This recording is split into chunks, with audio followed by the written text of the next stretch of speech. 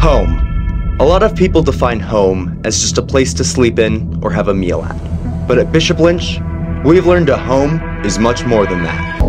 We call ourselves the Friars. We are a thousand brothers and sisters strong. You think we have it easy? You're wrong. Our teachers and coaches challenge us, understand us, stand behind us 100%. We make this campus our proving ground, our playground, our home. You will find that spark of greatness and discover it takes many forms. Whether it be solving an equation, a perfect pass, a moment of kindness to someone in need. Not many have what it takes. But if you want to know how it feels to have over a thousand brothers and sisters in your corner, the Friars are ready to welcome you in. This is just the beginning.